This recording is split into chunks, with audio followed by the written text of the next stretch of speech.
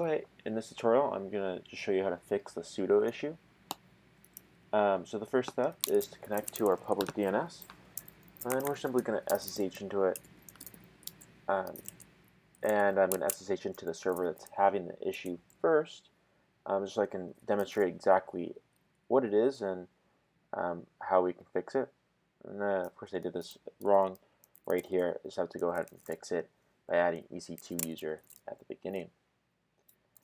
Um, so you can see now I connected. When I type sudo, um, you can see that I have this error. Um, basically, it's because I was messing around with user permissions and changed it um, in the wrong spot.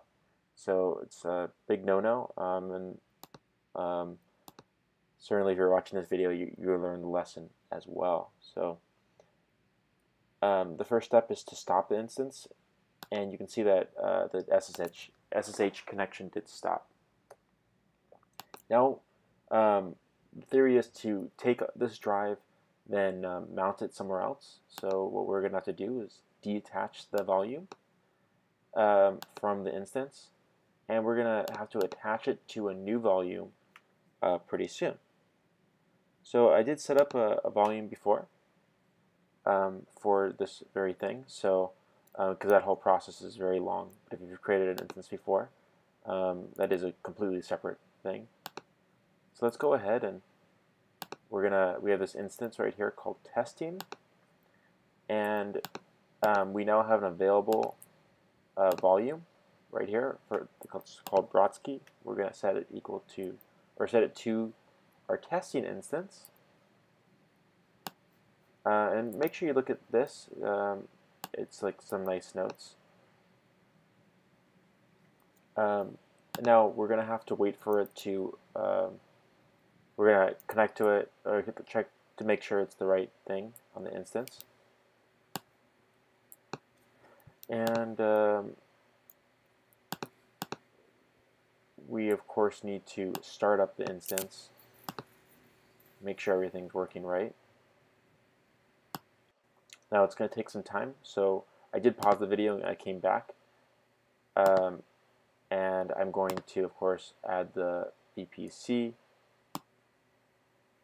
um, by the way, this whole process does take a while. Um, I uh, cut up the video a bit to make sure everything is uh, very smooth and, and, much faster, or else you'd be having an hour-long tutorial.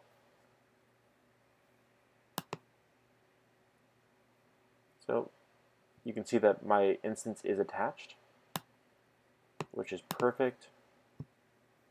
Now let's go ahead and um, make sure that the instance, the, vol the block volumes are there. You can see that on a regular instance, doesn't have it. Um, so now we have to go ahead and connect to our server or our instance and make sure we can mount it.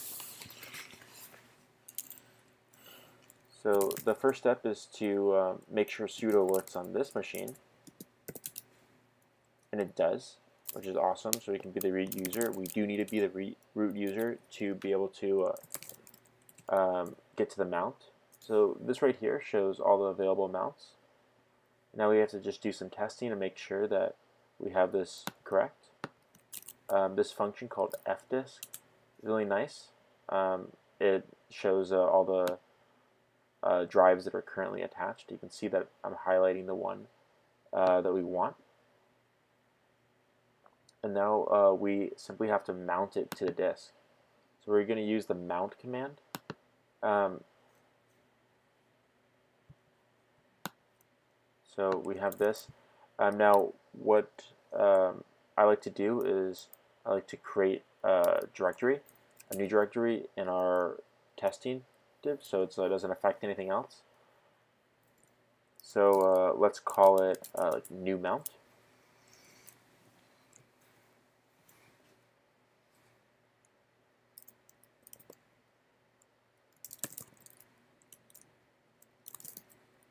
And we're simply going to check to make sure it's there.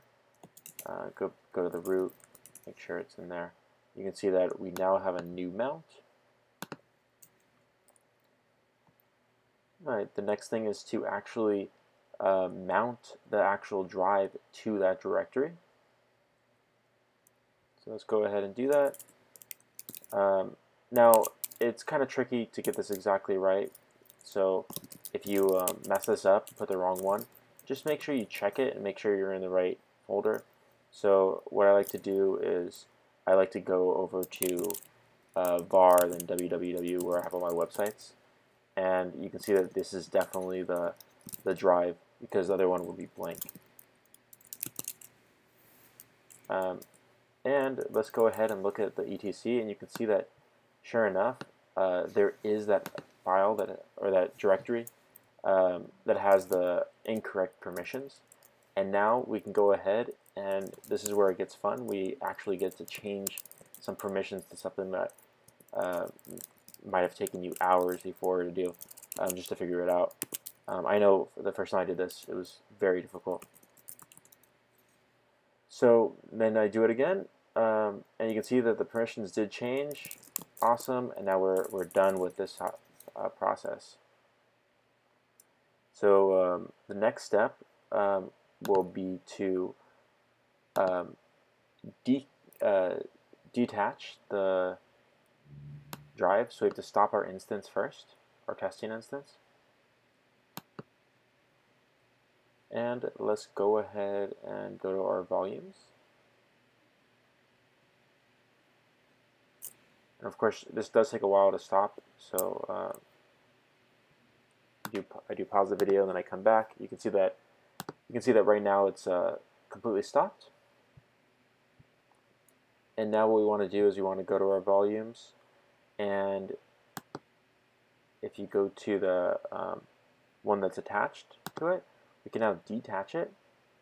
Now when it's already stopped, the detaching process is really fast. All you have to do is really refresh. And when you refresh, you can see that now it's available. So now let's go ahead and attach it. We're going to attach it uh, straight to our um, original instance. Now the, the device is a bit tricky, so um, a lot of times you can get it wrong the first time around. But that's okay, when, when you attach it, it'll tell you which one is missing, uh, which one's necessary. So we'll uh, go ahead and attach it, and then we're going to start an instance and make sure it works. And if it doesn't, we'll go ahead and change that back to what it needs to be. So we're going to start this. And sure enough, the instance is wrong because we have the wrong uh, directory place for the root. Let's just copy and paste this to the right place. Let's go back to volumes. Going to go over here. And we're going to first detach it, and then we're going to reattach it in the right place.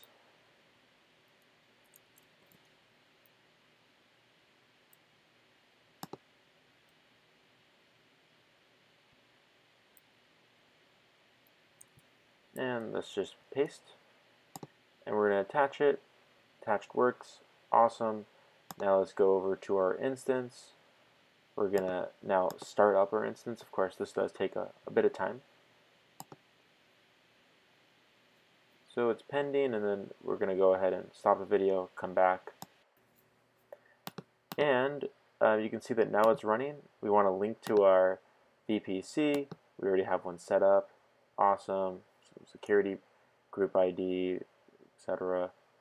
Uh, normal stuff.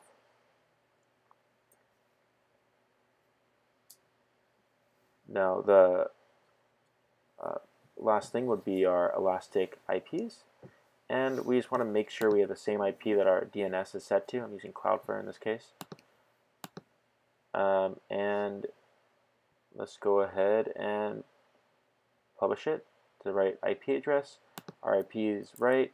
Our DNS is already pointing there. So now is about the time it should be working if everything's good. Let's go ahead and um, just make sure everything is in the right place. And then we're going to um, um, we're going to have to go ahead and connect to it. Uh, the first thing we're going to have to do now is um, make sure everything starts up. And before we had an issue with starting up, was starting up uh, like MySQL, starting up Apache, simply because sudo didn't work, and it's you can't really start services like that uh, without root permissions. So uh, let's go ahead and uh, get ourselves going. We're going to have to connect to the server. Now, one of the uh, kind of tricky things on this is uh, since you're connecting to the same IP address before and um, things have changed a lot of times, sometimes you just need to clear out the information on, on your machine. So um, I'm going to show you how I do that in one second. So this isn't going to work. So uh, what I'll do is I'll go into Coda and I'm going to edit my um, my host file, my host file, um, my known host file. So you can see that it actually gives me a, an error saying that you need to edit your known host file. Awesome. So let's open up Coda.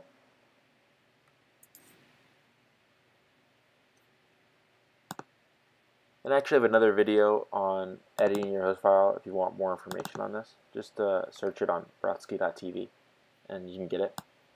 And I just like delete the last few. It doesn't really matter. Um, and I hit save and now let's go ahead and try this connection again. And look at that, it works. We have a new R, um, RSA key for fingerprint because we deleted the known host. And you can see that now sudo does seem to be working. This is exactly what sudo should do. Let's go ahead and sudo into the right user, into the SU user. And now let's get these processes working, or these services, and make sure that we're actually working. And let's do the same thing for MySQL.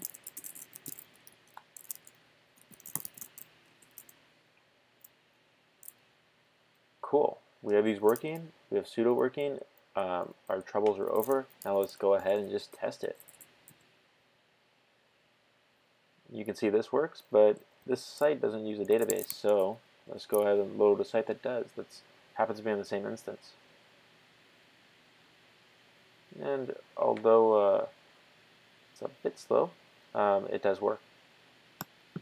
And that completes this uh, tutorial.